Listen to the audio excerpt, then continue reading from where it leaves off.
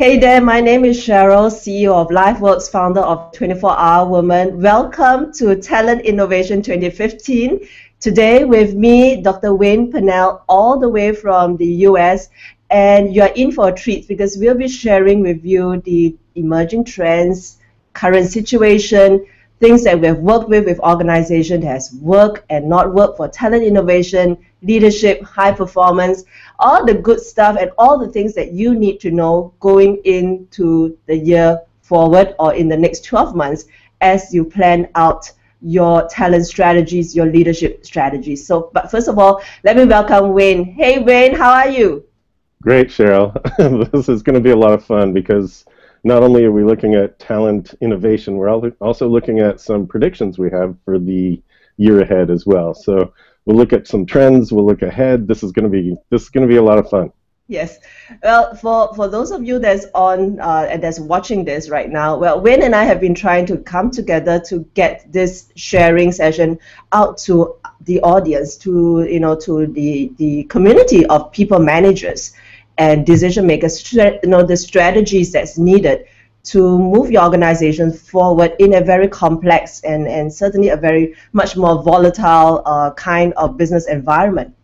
And we are seeing changes in the talent pool. So let's just, uh, we have about an hour. So I'm just going to jump right in um, and ask Wayne to share with us uh, what are the trends that he's seeing out in the US and many of your clients when I believe are global firms. So you would also be seeing what's happening around the world. So what are some of your thoughts? So my background is clinical psychology, and I brought uh, I brought that to business about 30 years ago, and I've been able to do essentially organization development and talent development and leadership development, working with some senior executives and some major groups across the country. Um, you know, I'm I am a high performance coach, certified high performance coach. I focus on leadership, and what I see are pockets of uh, really creative talent per percolating up. You know, what happens is that more and more senior leaders are recognizing the need for creativity, and what's happening is they become uh, either. Well, I'm I'm actually seeing a polar split so either it is my way or get out, or it's our way. And what's interesting about that is that it's very vision based. And so our way is based on what vision are we as a group, a collective group, after? Where are we headed? And once the talent pool that comes on is really well informed about what the vision is, it's, it becomes their choice whether to stay and contribute toward that vision or whether to say, well, that's not the vision for me. I want to find a different company. So the old the old style was, you know, you come to work, you learn to sit at a desk for eight hours, you learn to do your thing. That is it. This is more. There's more collaboration that I'm seeing in the workforce, and um, what I'm also seeing is that the enlightened leaders the enlightened leaders are the ones that are actually calling for that. They are looking at individual differences and and making cross departmental teams so the individuals can talk together and there's no more silo. Right. Actually, you know, we are seeing some similar developments uh, on our end, and um, as you know, we do a lot of work with regards to the generations in the workplace, and we are in the midst of the huge crew change with baby boomers that will be potentially leaving the workforce and lots of the millennials coming right in. So we do right. see we do see people taking a lot more control with regards to the, the work that they do. And smart leaders, like you say, contemporary leaders realize that the demographics are changing uh, just like the marketplace is changing. So leadership is also um, the, the new leadership we see that is going to be successful now and going into the future are those who um, are able to build commons, find common ground, are people yeah. who are able to have a dilemma and be able to decide upon a dilemma because there's no good, I mean, any solution is not the perfect solution, but they have the courage to, to take that forward. And importantly, there are people you know, join them in it because they find that it is meaningful, they find that it is aligned, and they find that their voices are heard. and I, I, thought that when when I was preparing for this, I thought that's interesting because one of your key message as you work with leaders going forward uh, is about meaning making, isn't it? It is actually right, and you can see right back here, meaning maker leadership is my uh, it, it is my website, meaningmakerleadership.com. And really, what I start with there is uh, the definition of the of the self. You know, every leader. See, I believe that leaders have to be. In, I believe many things about leaders. The first is that just about everybody is a leader. It doesn't matter where you are in an organization or at home or in the community. If if you're being noticed or watched, it could be even by your kids. It could be by a small group of, of work colleagues. If you're mm-hmm. being watched, you're you're potentially a leader. Absolutely. I, I believe that to be a good leader, you have to be good in relationships. You have to be good with understanding other people, and I think that to be good in relationships, you have to be really strong in yourself. So I actually have seven steps in, in meaning maker leadership that I walk people through. And uh, that's what I look for in a really strong in a really strong organization is does the leader have a good definition of self? Do they know who they are, both personally and professionally?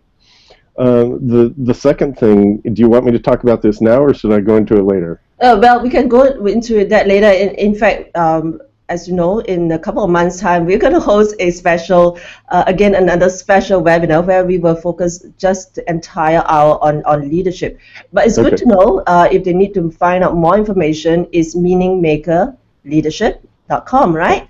Well, exactly. and you, you brought in two interesting trends that we are also seeing here in Asia, uh, uh that of increasing uh, need for the workplace to be collaborative and that the leader needs to be one that is able to know about themselves but also be able to help others find the meaning and alignment. Absolutely. and and we see a lot of that as we work actually the uh, the trend that we are seeing here in Asia increasing uh, diversity in the generations at work in the culture gender and generational diversity. And that's a key area that we focus on uh, at at LifeWorkz and um, we see that the leader plays a, a, critical role in building a more inclusive workplace, right? And, yes. and that's why for us, uh, we define it as, are you a contemporary leader?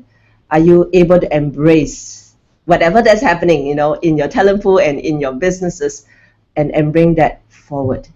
So, so and, let's talk about let's talk about contemporary and, and embracing whatever's happening because I think you know diversity was such a big word that was that was pushed around since the 80s, maybe even before that, mm-hmm. and it has taken on different meaning over time. And I think what we look at now is as the workplace shifts, and we are looking at millennials and and even what's what's called the indigenous digital generation, right? That they are born into digital yes. digital they won't even know what a record is, right? They won't know what a oh, yeah. how to read a how to read a, a watch that's got hands. So indigenous digital. Um, so the millennials, right? Uh, as we get a workplace like that, everybody actually comes with with a different background. And it's not about ethnicity, where I think diversity used to be about ethnicity. Now it's about what do you bring? Who are you? What kind of talent do you have? And and that the mixture is really very different. Um, what we look for in a diverse workplace is very different. You know, and being able to draw on each individual's strengths, I think that's the sign of a great leader is to recognize what strengths does this person bring versus this person. And what's great when you really, really look at, at diversity is that there's an overlap and that there's m- actually more commonality than there is diversity. Absolutely. And so rather than pushing away, you get this this commonality with this special flavor or perspective, and that perspective is what makes for really strong organizations. Yeah, and, and the thing you're right, absolutely right to say that the, the definition of diversity has evolved, and we're not talking about more the physical experience, uh, no, appearance anymore, but more in terms of the diversity of thoughts you right. know, because that is the, the, the genuine value that you bring to the organization, the diversity of thoughts, and therefore the leadership that is able to cope with, you know, the diverse um, thoughts that comes into the workplace and be able to funnel it down such that people do see a common ground, right? And and that's and that's what we see in terms of, of the trends as unfolding. And as we get into work with some of the organizations, uh, we, we are able to test out certain strategies um, that has helped them to be successful. Uh, one final thought about trends, though, um, is as far as I, as Asia is concerned, we see the impact of technology, huge uh, impact in terms of when, where, and how we work right? And when, where, and how we communicate and engage with one another. Uh, what are your thoughts on, on your side? Well, you know, even even what we're doing here, Cheryl, is a big tribute to technology. I mean, I'm sitting in the Bay Area, the San Francisco Bay Area in California, and you're in Singapore. And um, the fact that we can host this essentially on different days, right? Um, you're in one day. You're you're living in my future, uh, and and I think that that's fabulous because I think what we're seeing is the ability to cross collaborate using using technology that's now available. I mean, you know, 20 years ago, this was barely emerging and nobody used this kind of technology. It wasn't this specifically wasn't available at all. And so the ability to gather new information, to pick certain pieces that are useful, and then to incorporate them into the specific worksite, I think that that's available in an instant, and that the really good leaders are looking for people that can do that. And so what we do, you and I, is to really help those leaders to find those people or to help those leaders to use filters so that they know what they're looking for. And that's, you know, you and I are, are helping organizations to be able to get to get faster at doing this kind of communication and to to look at um, you know what works in terms of communication. Yeah. I want to do. I, I do want to say one more thing, if if I'm allowed to go on a riff here for a minute. Certainly, before we head on to the next section. the I think the other thing that's true in in uh, in terms of high level communication and technology is that we do need to go back to basics. That there's a there's a certain level of wow, while I'm able to communicate via webcam across multiple continents around the world, also there's a certain level of um, decorum, uh, being able to use language in a way both with text, because that's really fast and efficient, but very often misunderstood. With email, again, tonality is missed. And I think it's back to basics for leaders especially, but also the, the work teams who are trying to communicate with each other and with their leaders to look at what's called meta communication. I mean, 38% of what we communicate is through our tone right? We could we could express joy just by having right just by having our voices go up, um, or you know something's oh so serious. Then we get deeper and lower, uh, and so through tonality, 38% is that is of what we communicate comes through that way, and 55% comes through in our facial expression and our body language. And I think that leaders and even uh, the workforce, the general workforce, often forgets that. And so in the midst of emerging technology, I think it's really important that we go back to basics as well and use that as an anchor. And it ties back right into the, the trends that we are seeing in terms of having a more diverse workplace. Definitely. And, and definitely communication and how we communicate, when, where, and how we communicate um, would really be the ones that would build the, the platform for inclusion. Right? So with, exactly. um, We've got more people joining us, Wayne. So, uh, well, for those of you who have just joined us, welcome. Uh, Dr. Wayne Pernell and myself have just been talking about what are some of the emerging trends that we are seeing in terms of talent and leadership um, uh, based on the work that he's doing out in the US with global firms uh, and myself uh, in Asia with global firms and with the uh, regional and, and local entities.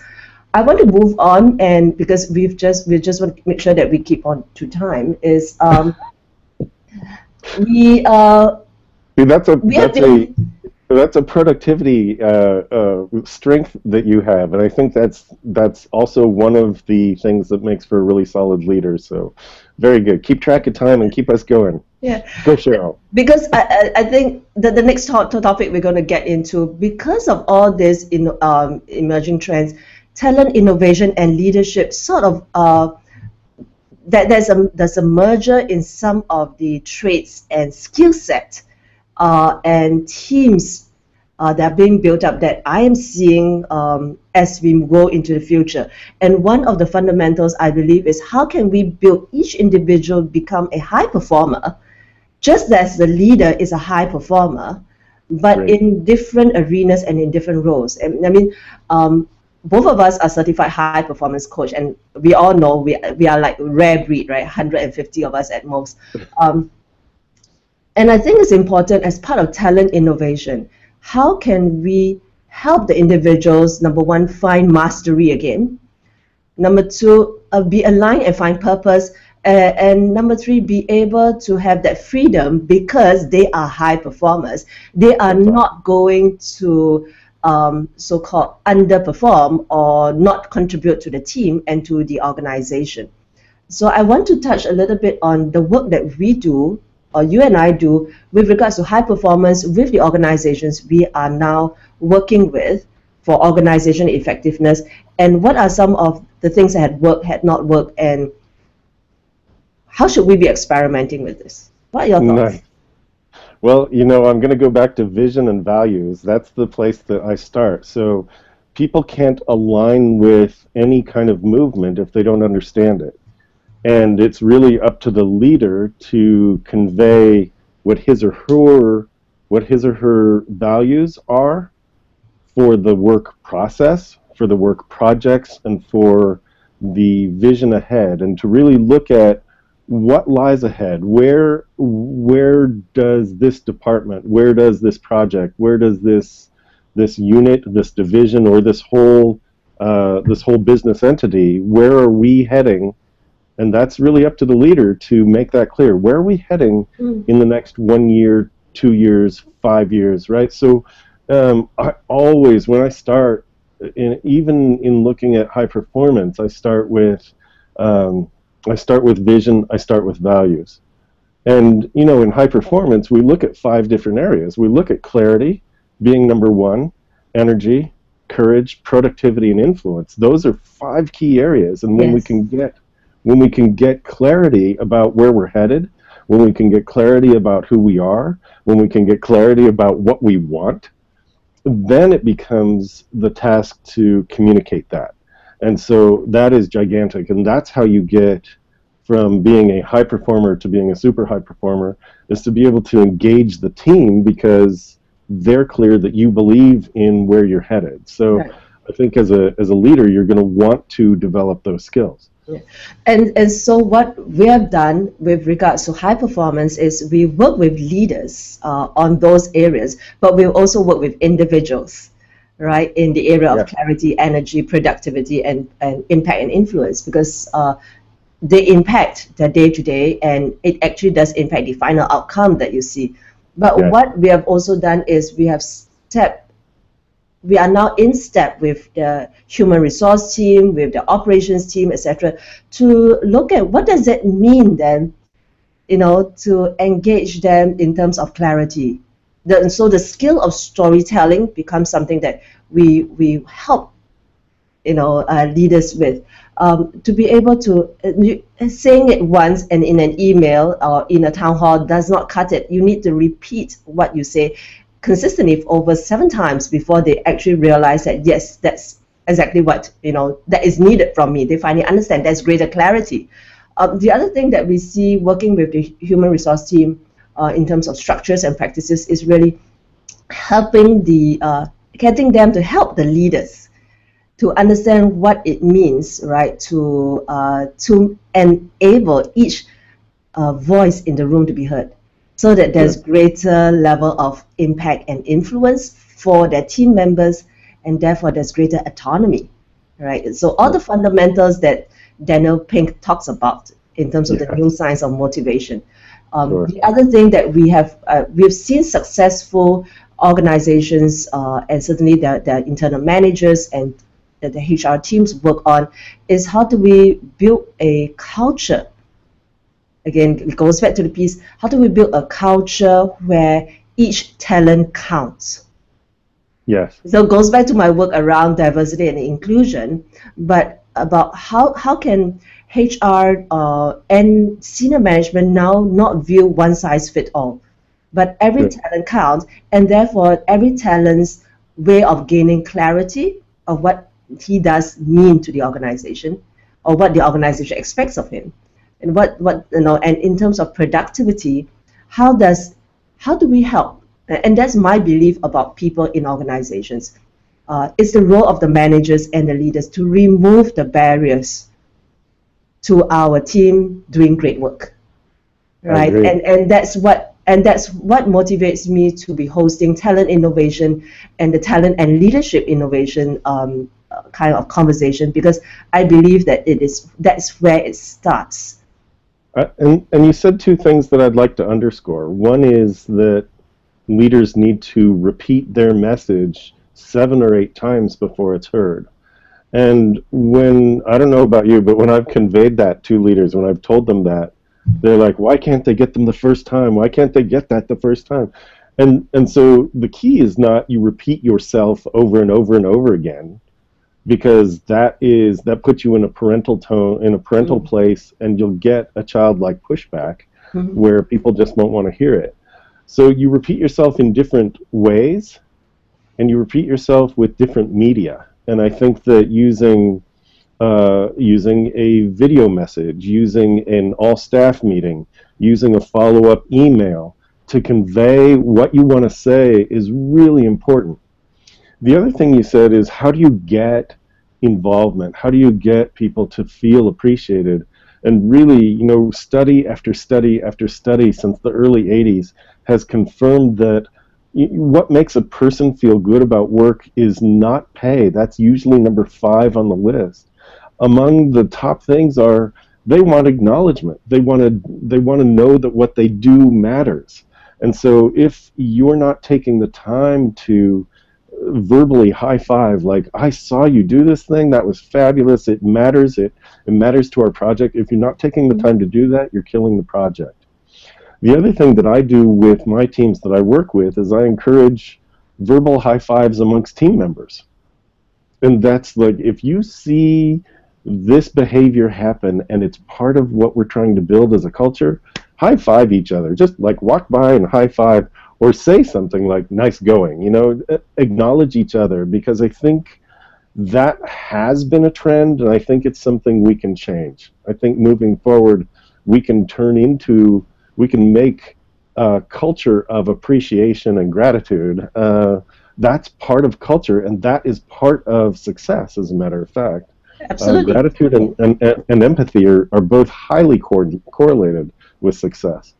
Right, and we see we see this uh, um, the high five pieces showing gratitude and appreciation piece so so critical, particularly with the uh, younger generations coming into the workplace, where you know uh, they, they can't wait for the entire year for you to say great job, right? So uh, something that has worked very well for our, our um, clients is that we empower every individual team member to show the appreciation, to reinforce the behaviors that we want to be seeing in the workplace, rather than just waiting, you know, for the leader or the manager to be the only ones, uh, to be the only ones doing so. And therefore, there is an elevation, uh, uh, and and in the workplace becomes more dynamic. There's more positivity, and you know, in terms of talent innovation, I think the application here for talent innovation is that to create practices that will create that will enable us to have a more uplifting organization. Because everything else going around is a lot of doom and, and you know downward spiral. But if your organization is able to create engagement through having a workplace that's more uplifting then that is an organization that will immediately have that buzz of that difference true and there's there's a word you you implied but left out, and that word is fun, right? That what we're seeing more and more is, um, you know, we've we've got a culture that comes from gaming, right? That that that video games are part of the culture from very early on at this point. and so now to put gamification is is the verb, or noun, I guess. Um, to, to, gamify is the verb. Um, when when things become something worth working toward, and everybody's pushing toward the same thing, and there's some level of wow, I can see it, I can see it, we're almost there, and you've got the leader both acknowledging what the direction is as well as looking back and and acknowledging uh, individual contributors the the key to this is not to make anybody feel like a loser over and over again.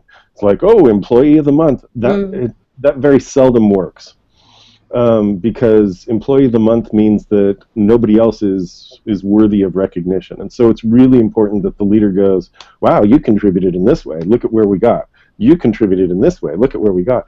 And and to make it fun along the way, and that's where again, you know, meaning meaning maker leadership asks for the leader to pause to find those places, right? Where is it that you're actually making a difference with your team? Right. And that your team recognizes that they're making a difference in the project.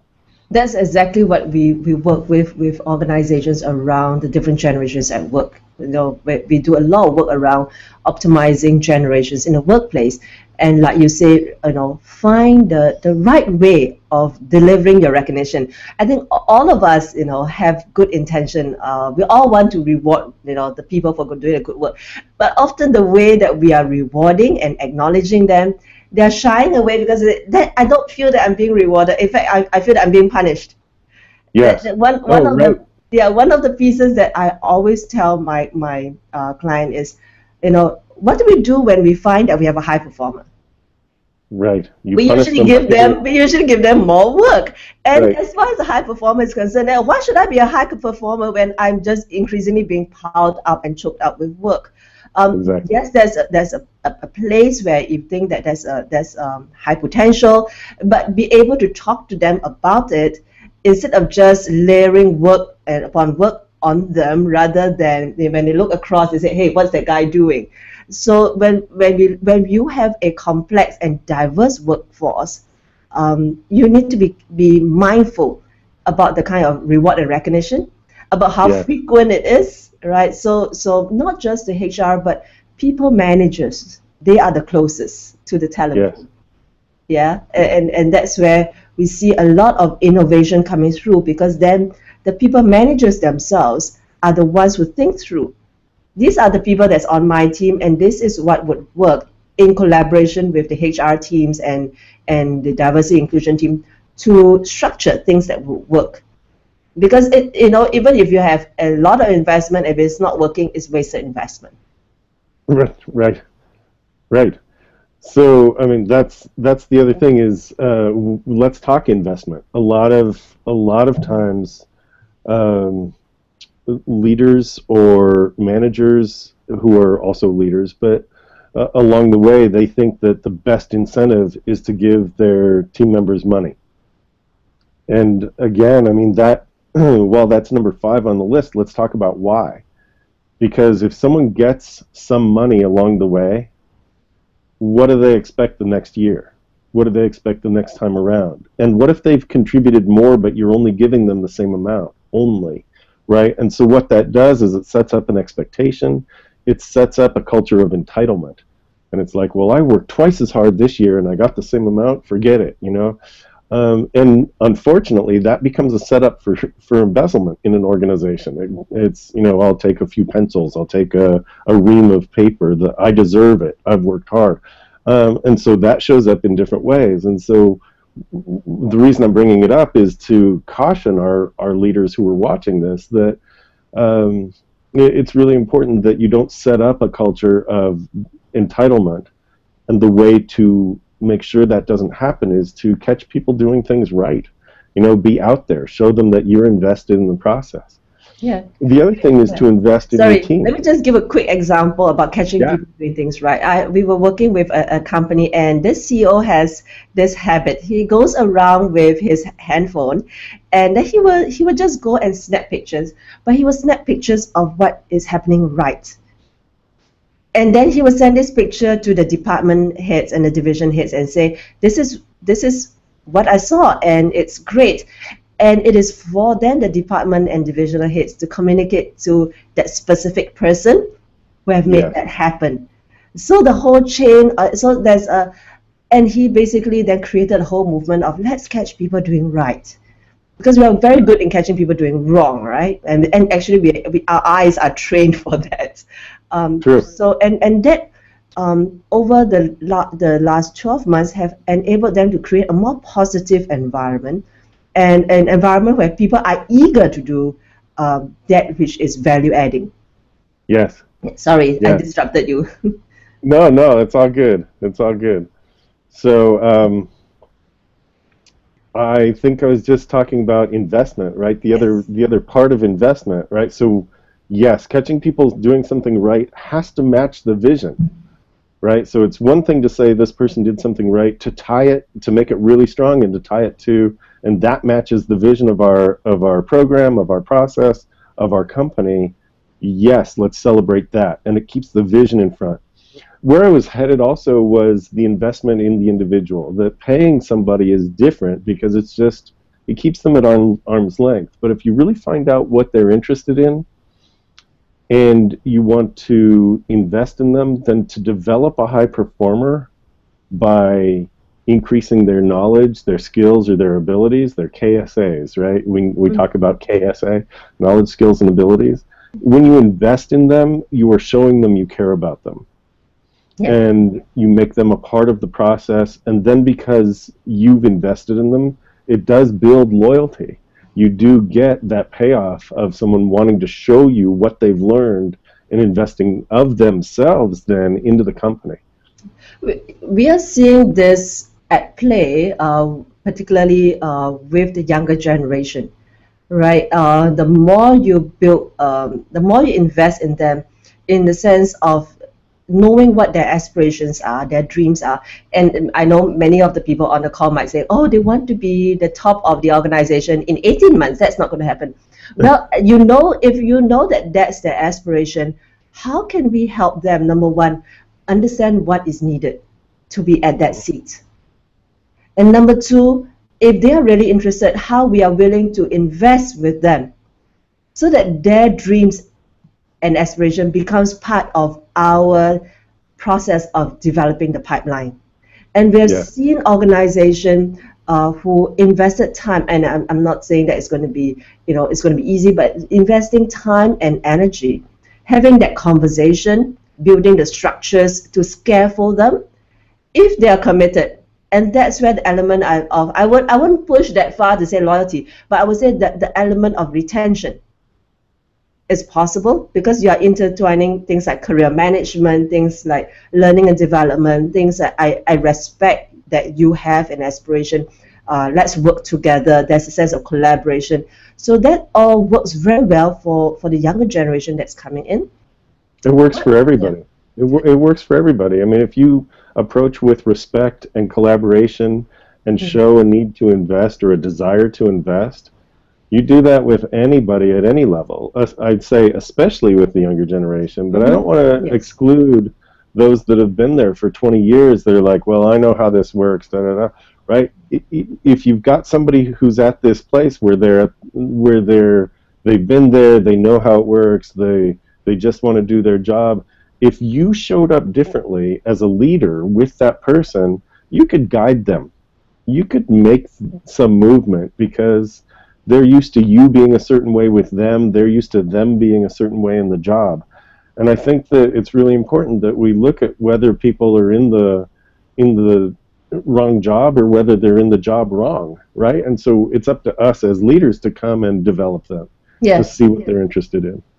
Uh, the the um, area that I wanted to, to touch on was is that for for the baby boomers, right, and and actually looking at the talent shortage that we are seeing right now, um, right. is is about the, the the the right fit of the person, and you can find the right fit for a person on a full full loop, you know, perspective. Then knowing the person's aspiration or knowing your potential uh, recruits, you know, staffs uh, aspiration would be helpful for you to tap on in terms of your, of your recruitment and your retention strategy. So one of, one of the things that we have been helping for companies is in terms of helping them transit so-called their potential baby boomers who might be thinking of retiring. How can we help them evolve into a different career but still within the organization, a different work pattern? So the whole, you know that I'm very passionate about flexibility at work because I think it's such a wasted, you know, uh, effort of you having invested and trained, you know, um, individuals only for them to leave after X number of years with you. But if you know their aspirations, if you know what they are facing in that life stage, flexibility of carving out when, where, and how work gets done, and, and still it's important that work gets done, uh, sure. helps you to tap on the talent pool that you might not have before, and help you to keep the talent pool that you have already invested in. Right. Do That's you true. see? Do you see that um, flexibility is going to be an increasingly critical tool? Because I, I feel as I look across organizations, we have we have all the levers at, in our hands. We have tapped on the financials, compensation and benefits. Uh, we have tapped on uh, management development, you know, communication. All the engagement factors that we are seeing uh, for talent management, for talent innovation, we have tapped on like four to five very consistently over like, my goodness, five, 10, 15 years. What's new I see as talent innovation is is in terms of flexibility, in terms of a more contemporary leader, and in terms of being uh, of of embracing diversity of thoughts by creating a more inclusive workplace. And these are the four things that I see will bring us forward. And I'm, I'm moving really right into what, you know, we've, we've talked about the trends, we have talked about what has worked in organizations, and now perhaps sharing with the, the people that's on the call what do we see going forward? what so would I you love, say as going forward? Well, I, I just love that you use the word flexibility. I think that that's a gigantic word. I think that it is often missed. You know, I when I'm working with leaders, I look for two things in my leaders. One is one is credibility. Do they say what they mean and do they do what they say? and the other is flexibility. And so it goes back to vision. Are they able to say, we are headed this direction, and I'm putting you in charge, and I really don't care how we get there. I mean, I have some ideas. This is what I think we should do, but ultimately, we're going to end here, right? We're going to end right here. So how do we get there? And sometimes it's back and forth, you know? Um, and so the flexibility of I have a vision for where we're headed I think that the communication that happens, I think that that's got to go back to basics. And and when I say that, I, I don't mean going back to the way it was in the in the 40s, 50s, 60s, you know, where um, communication in an office place was oh so stern. I mean, there were definite roles that a person had, and they couldn't break out of this box. You know, I think that the flexibility to have less boxiness is going to be what we see. That the ability to communicate beyond boundaries of within a cube is going to be what we see. Yeah. And that the ability for cross collaboration is also going to be something that we're going to see more of, where um, you're going to see you're going to see innovators become salespeople, and you're going to see, you know, the and the salespeople are going to be innovators. I mean, nobody expects someone who sells a product to actually think about, you know, what they could create that might actually be make that product better. I mean, no, people didn't used to think that, but I think coming forward, we're looking at it doesn't matter what your role is. We want you as a contributor. And so when you're talking about leaders as as being flexible, I do look for credibility. Do we have a vision for where we're headed? And flexibility can we gather information and then put it into implementation mm. in a way that makes sense to get us to this place we said we were going to go? Yeah, you, I want to pick up the point where you say we're going to work um, a lot beyond the cubicles, because one yeah. of the key things I, I think going forward we're going to see an increasing uh, um, need of the increasing use of virtual teams by virtue of the fact that the talent is is all over the world right now, and all and, and to find the right fit for the kind of jobs that you, that so-called the jobs that is con- the jobs today may not be the jobs you know in the next couple of months. So having the virtual teams is one of the key things that I see.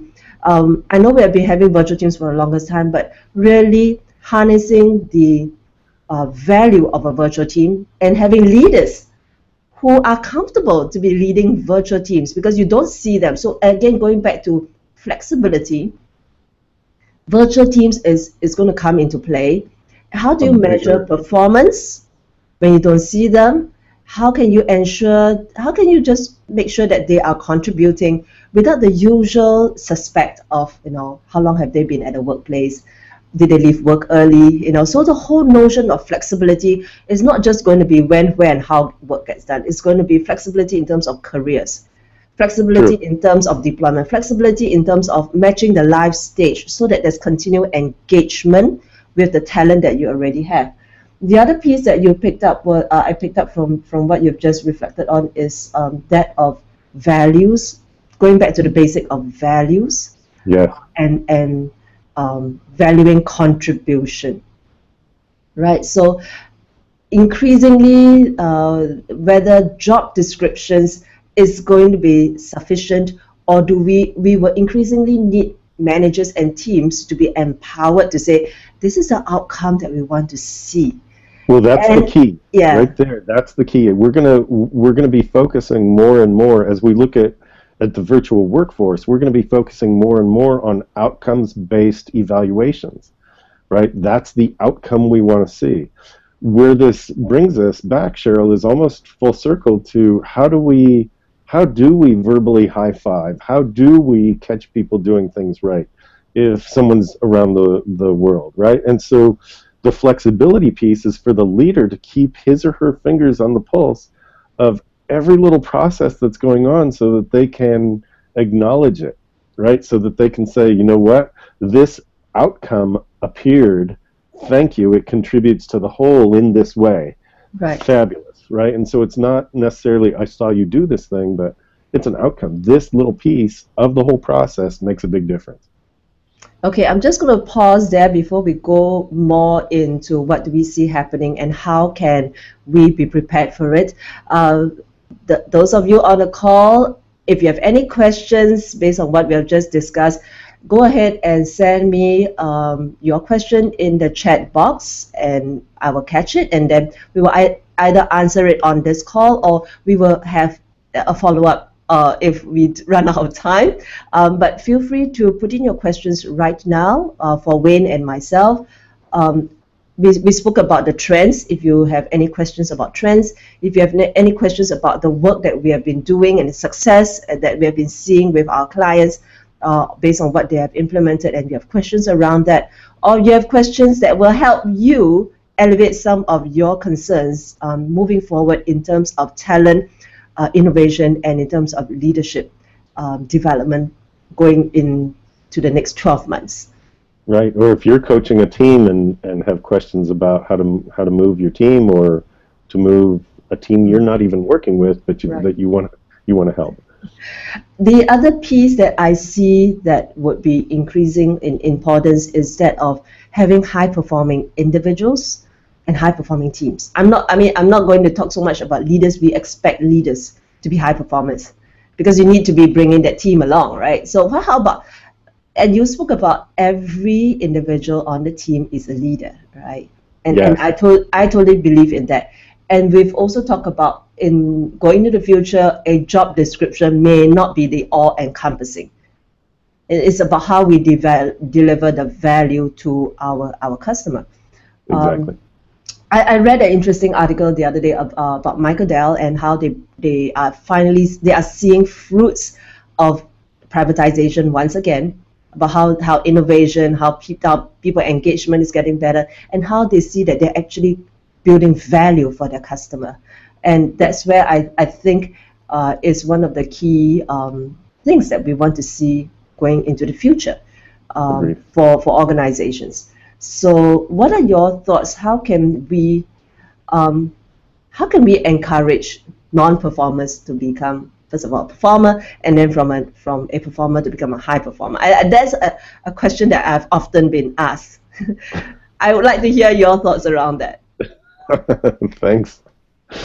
Uh, I've I've had the pleasure of dealing with teams with that problem, you know, and and here's somebody who uh, is perceived as a non-performer. Now, you know, you you said that we expect leaders to be high performers, and the truth is that leaders don't.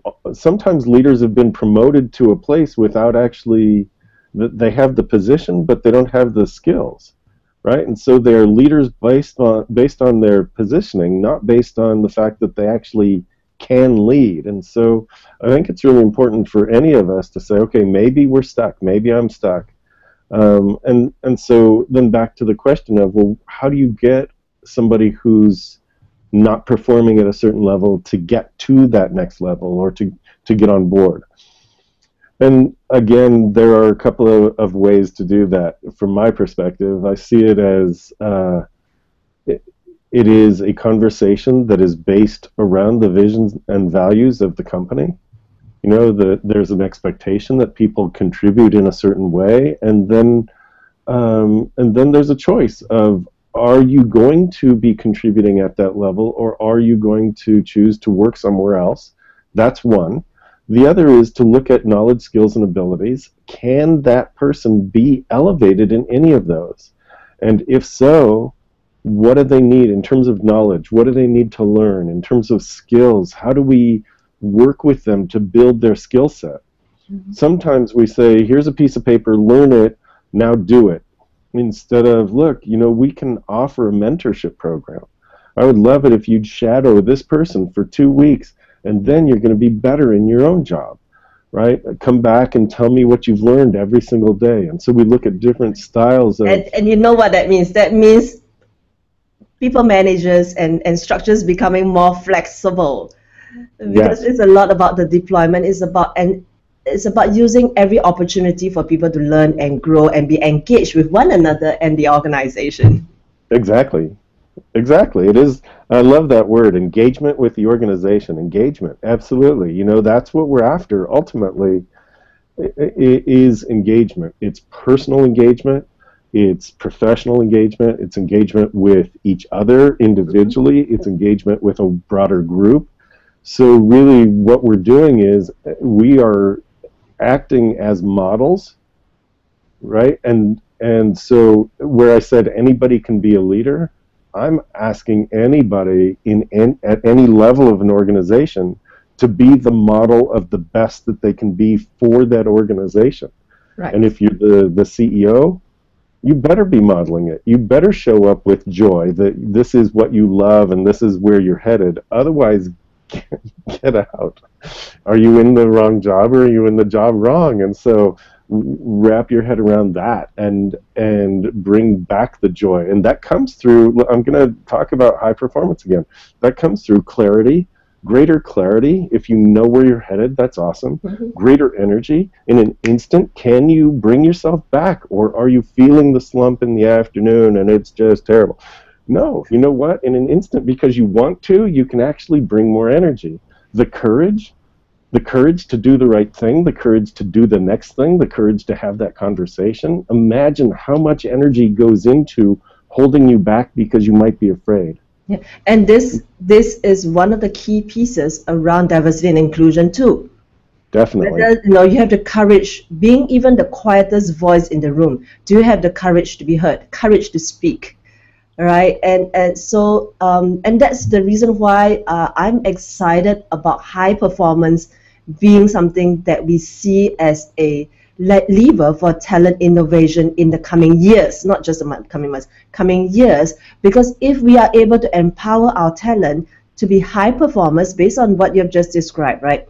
Uh, that both of us work on in terms of clarity, energy, courage, you know, productivity, you know, presence, their physiology. If every individual increases their performance by two percent, what shift that's going to be? you know and yeah and we are, so we are not just depending on the leader to have that high performance shift but we are we are anticipating that if everybody has that 2% shift imagine your millennials your, your generation x your baby boomers waking up to say that hey it's not time to retire. There's no retirement. I'm still engaged. I still love what I do. How much yeah. more energy, joy, and productivity and engagement the organization will have? And yeah. right, it's I love what I do and I'm contributing. Not I love what I do, don't kick me out because I'm a certain age. It's I love what I do and I've got this idea and I'm ready to lead that team mm-hmm. and I'm, you know, in it and I want to talk to this person and I'm right? I'm, the ability for leaders to think beyond the boundaries that they had even, right? A lot of times people come into to companies with um, that have specified roles, and the ability to break out of those roles and to really uh, engage at all levels now is going to be what's hugely important. Right. I'm just keen. I'm just seeing that I with I just I put a poll out while we were having a conversation and uh, about um, them about the audience, uh, okay. knowing what it takes to to build to build high performance. Right. Okay. And and uh, and the, the answer is yes or no. And, and most of them come. And we have half half half say yes, half say say no. So I think there's room for us to explore uh, uh, on another call with regards to high performance, and I trust those um, who are on the call with us right now will um, will just keep track when that particular one would be, because I think that would be one that is most interesting, um, at, at least for myself. Going forward, I see high performance for talent innovation and leadership.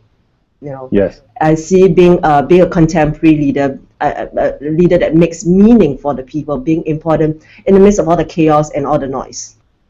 Yes, yeah. I think you know it concerns me that it's 50-50 because what that tells me is that there may be a misunderstanding about what high performance is. Right. Right, and so how can everybody in the company be a high performer? Um, the truth is, you're not going to have absolutely everybody. You are going to get some people who show up, they punch the clock, they do their work, they uh, punch out, they're done. Mm-hmm. You can get a majority of the workforce to be high performers within their realm. I'm not asking the mail clerk to lead the company, but I am asking that the mail clerk, if that person has an idea, that there's a way that that idea can be given to the next level up, the next level up, the next level up, and that that mail clerk can be uh, can be recognized for contributing. It doesn't matter if it's a terrible idea. What matters is that there's a process, and I think that we need to be uh, really recognizing the uh, the generativity that that things you know when people contribute it makes pe- it makes the whole organization grow and so it's really up to senior leaders to make sure that that's there at all levels and and no, not everybody's going to come in and go, okay, I'm on, it's time. Um, but can you bring your own joy to whatever level, yes. whatever level you are in the organization? Yes. So yeah, so uh, being a high performer within your context uh, is is actually I think one of the key pieces because that's where where you interact on a day to day basis anyway, right? So for me that that is important. I see what else do I see going forward as important? I see um, the workplace getting increasingly diverse and virtual, and therefore yeah. the ability for the organization to engage the talent pool through uh, inclusion, building inclusion, building skill set, and uh, helping. Now, this is helping people understand one another you know, in the past we all we call this team building, but I like to say that it's not about team building. It's about look at the entire thing about how do we build team effectiveness. Yes. Right. It's not just uh, rah rah build the team, but rather as a team through the process of work, if you like. Um, how how effective are we? Because if everybody is contributing, then we will be a highly effective team. And if everybody is a high performer, we have a high performing team. So the the psychologist in me wants to talk a little bit. yes, all right. Right. So you used a you used a, a great term, and that was understanding.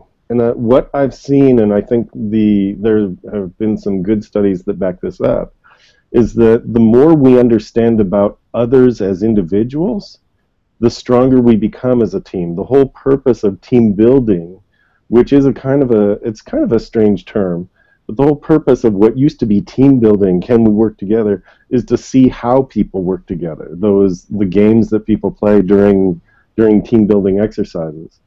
What I found is that if you actually take people away from the workplace, or that even in virtual, if you if you invite conversations on a more personal level, that the work team becomes even stronger.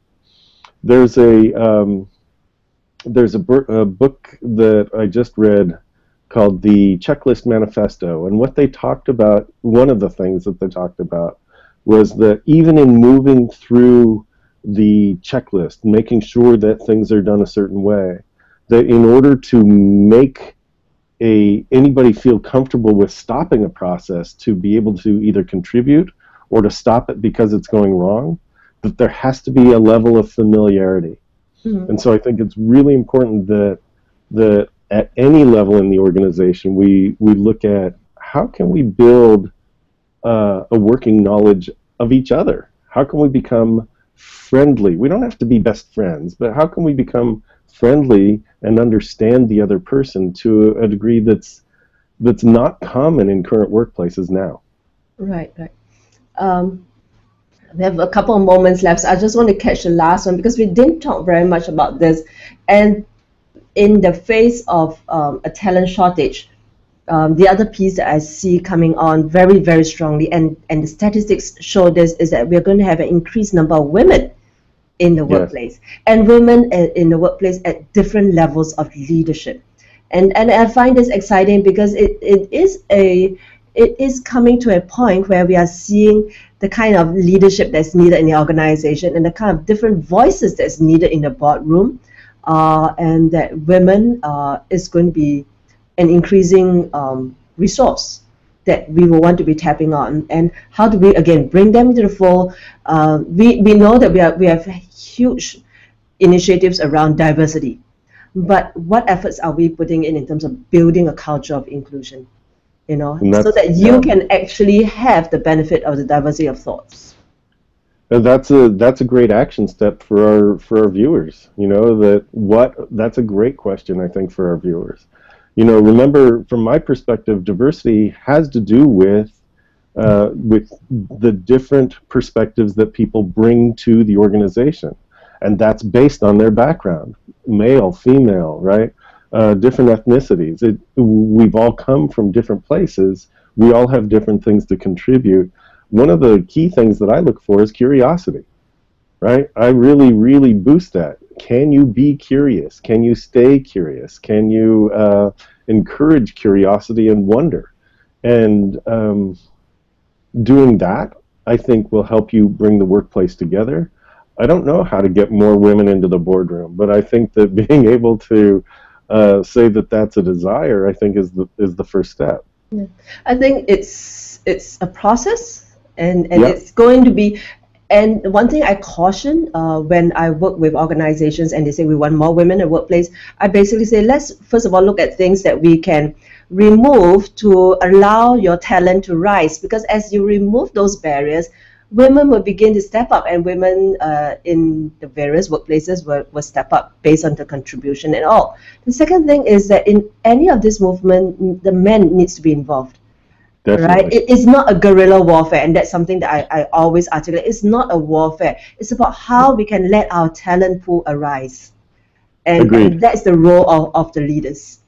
Agreed. All right, we have a couple of moments left. So, Wayne, um, to our, our, our audience and listening in, what would be three things that you think moving forward in terms of talent, innovation, and leadership they need to seriously consider in order for them and their organizations to to to thrive and be able to cut through all the chaos and and to really be able to be a sustainable business well it's interesting i think the the first thing is really um, clarify who you are and and where you're headed and so really creating a, a very solid vision that it is you know of the seven steps that i that i look at definition of self is really huge you use the term flexibility.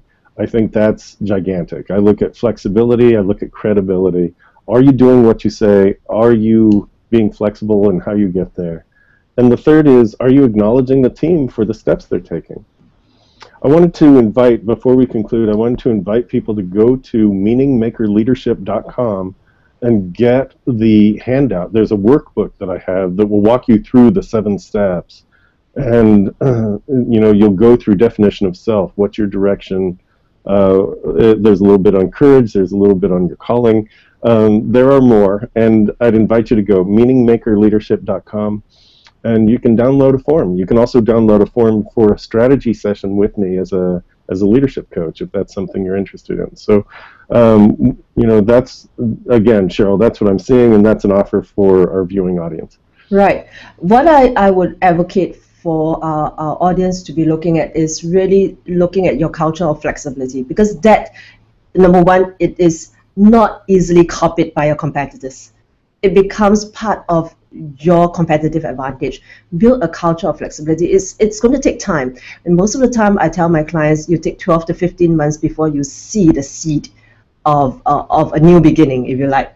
Um, the other area that I see uh, for talent innovation and and leadership is people are tired and therefore if you were to if we were to be able to go in and show them that high performance is not going to make you more tired high performance is going to make you more engaged more joyful and more um, fulfilled in what exactly. you are doing That exactly. is going to do a long go a long way in terms of talent and leadership engagement the third thing that I see that's important is um, the valuing of inclusion.